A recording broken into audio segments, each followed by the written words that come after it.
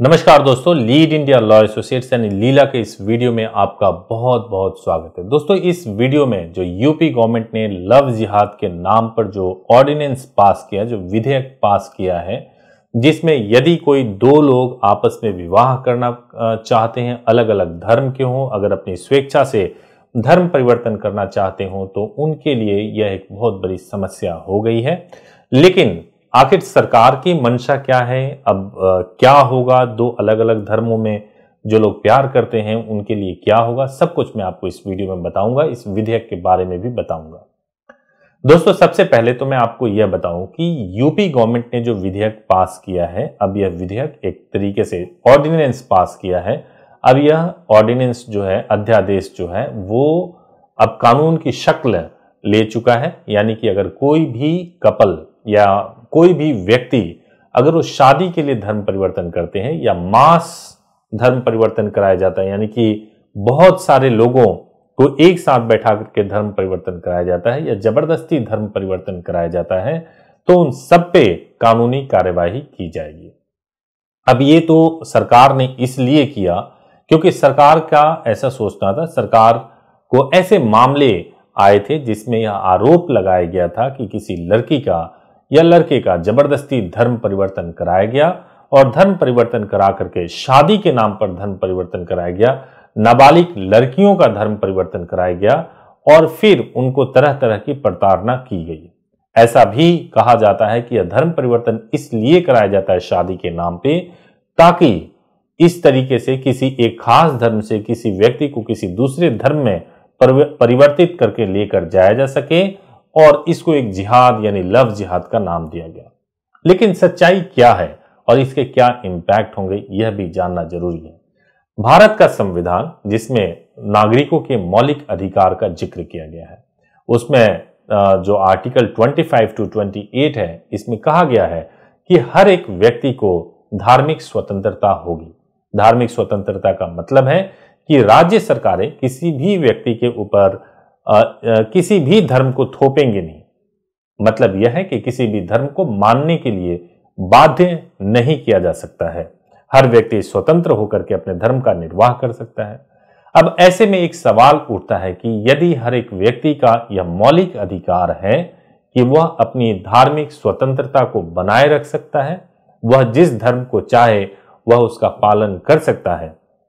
तो क्या आ, सरकार का भरोसा अब लोगों में या युवाओं में नहीं है? क्या सरकार क्या सोचती है युवाओं को लेकर के?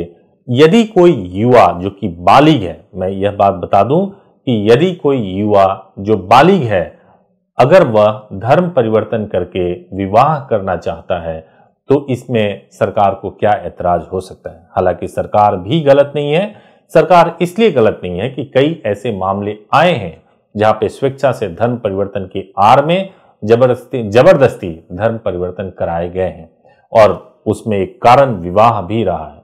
लेकिन दोस्तों, इसके लिए सरकार ने जो उपाय ढूंढा ऑर्डिनेंस के अंदर, वो यह कहा कि यदि आपको धर्म परिवर्तन करना है और धर्म परिवर्तन करके शादी करनी है तो आपको कलेक्टर को, जो ज़िले के कलेक्टर होंगे, उनको साठ दिन पहले आवेदन देना होगा। उस आवेदन के बाद से एक फॉर्मेट होगा, एक फॉर्म होगा। उस फॉर्म को भर करके देना होगा। उसके बाद ही आप धर्म परिवर्तन कर सकते हैं। लेकिन सवाल यह है कि जहाँ पे माँ और बाप, कपल के माँ बाप तैयार ही ना हो शादी के लिए, समाज ही, समाज भी तैयार नहीं हो, इतना परिपक्व हमारा समाज है भी नहीं। ऐसे में अगर कोई कपल आवेदन देता है कलेक्टर ऑफ़िस के अंदर और वहाँ से अगर किसी भी प्रकार से उसके धर्म परिवर्तन की सूचना लीक हो जाती है तो इन परिस्थितियों में क्या कपल के जान माल की देखभाल कौन करेगा? दूसरी इंपॉर्टेंट बात यह है कि इन 60 दिनों के अंदर अगर कपल के साथ में कुछ घटना घट जाती है, लड़का और लड़की के साथ में कुछ घटना घटती है, या खुद दुखी होकर के वो कुछ ऐसा स्टेप उठा लेते हैं जो उन्हें उठाना नहीं चाहिए तो इन परिस्थितियों में क्या होगा?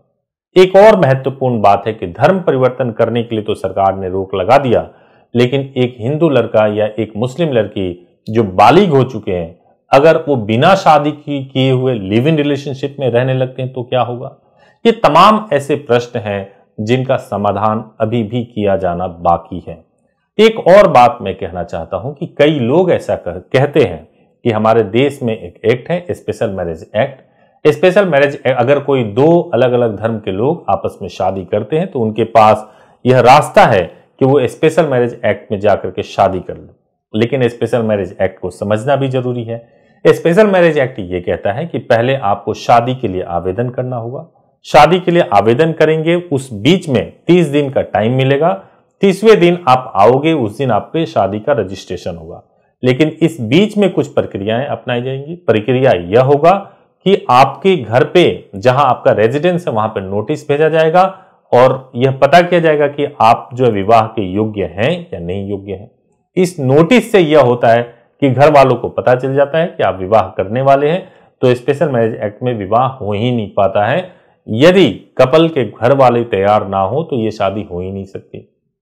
और जिस जगह पे शादी होती है, जिस एसडीएम कोर्ट में यह शादी होगी वहाँ के नोटिस बोर्ड पर भी पब्लिकेशन किया जाएगा कि इन लोगों की शादी होने वाली है।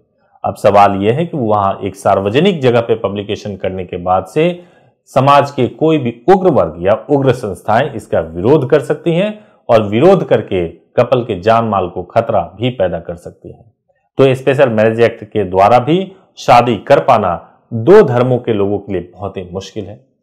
ऐसे में मुझे लगता है कि एक तरफा कार्रवाई लगता है कि विधेयक ला करके सरकार की तरफ़ से जो कार्रवाई किया गया है, मुझे ऐसा लगता है कि इसमें अभी भी कई प्रश्नों का समाधान ढूंढा जाना बाकी है। कई प्रश्नों को, के समाधान को ढूंढ करके एक समग्र तरीके से अगर कोई विधेयक बनाया जाए, एक समग्र तरीके से कोई कानून लाया जाए तो वह निश्चित रूप से उस समस्या का हल ज़रूर करेगा अगर जबरन धर्म परिवर्तन कराया गया हो। लेकिन जबरन धर्म परिवर्तन, अगर सरकार ऐसा कुछ प्रोविज़न कर दे ऐसा कोई डॉक्यूमेंट रिक्वायर्ड कर दे कि विवाह से पहले अगर आप विवाह कर रहे हैं, धर्म परिवर्तन करके आप विवाह कर रहे हैं तो उस समय आपको ये डॉक्यूमेंट भरना ज़रूरी है और उस डॉक्यूमेंट को कलेक्टर ऑफ़िस में जमा कराना ज़रूरी है। अगर आप ऐसा करें, तब तो समझ में आता है कि विवाह के बाद ये हो रही है।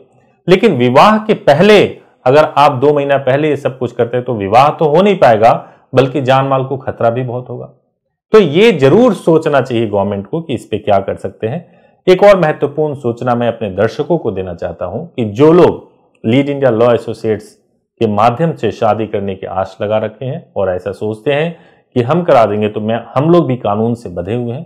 कोई भी व्यक्ति जो अंत धार्मिक हैं अलग अलग धर्मों के हैं, उनके विवाह को कानून के मुताबिक अभी हमने भी हम नहीं करा सकते। या तो आप स्पेशल मैरिज एक्ट में कर सकते हैं। स्पेशल मैरिज एक्ट में आपको अपने जहाँ पे रहते हैं वहीं पे आपको करना होगा। दूसरा जो तरीका यह होगा कि आपको कलेक्टर के पास से परमिशन लेकर के आना होगा धर्म परिवर्तन के लिए तभी हो सकता है। फ़िलहाल मैं यही कहूँगा कि चूँकि इस पर इतना कैश है इतना इतना उलझन है इतना कंफ्यूजन है कि आप भी अपने शादी के प्लान को अगर आप दो धर्मों के कपल हैं तो कोई भी गलत कदम मत, उठाइए कोई निराशाजनक कदम मत उठाइए। आप आत्महत्या या सुसाइड के बारे में मत सोचिए। थोड़ा वेट करिए। वेट करने के बाद से इस पर और क्लियरिटी आएगी। इस पर सुप्रीम कोर्ट में भी सुनवाई चल रहा है। वहाँ से भी फैसला आएगा। एक बार फैसला आ जाएगा तो मुझे पूरा उम्मीद है कि आपके सभी सवालों के जवाब मिल जाएँगे और फिर से आप पहले की तरह कंफर्टेबली आप अपनी शादी कर पाएँगे। अगर वीडियो अच्छा लगा हो तो ज़रूर इसको शेयर सब्सक्राइब कीजिए लाइक कीजिए। बहुत बहुत धन्यवाद।